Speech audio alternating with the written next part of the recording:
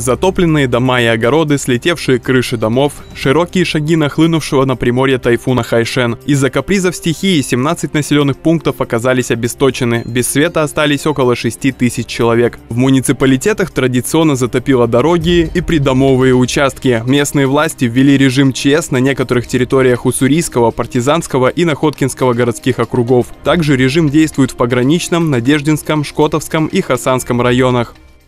Тут такое течение в середине. Короче, блин, в 12 ехали в час. Вообще все сухо было.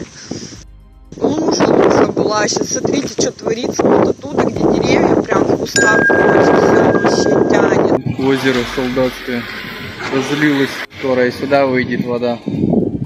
На данный момент в регионе ведутся восстановительные работы. Спасатели пытаются возобновить энергообеспечение, расчищают просеки для доступа к ЛЭП. Производится уборка снесенных ветром деревьев и веток. На некоторых затопленных территориях организованы лодочные переправы. Как отмечает губернатор Олег Кожемяка, первоочередной задачей является восстановить старые трансформаторы и провода, а затем подготовить их для капитального ремонта в следующем году. Мы видим, что большой вред причиняют э, деревья вот, и линиям электропередачи э, домам. Поэтому мы оставим эти группировки, которые сейчас находятся в населенных пунктах, еще как минимум на неделю, э, с тем, чтобы уже после прохождения тайфуна они занимались опиливанием этих старых деревьев.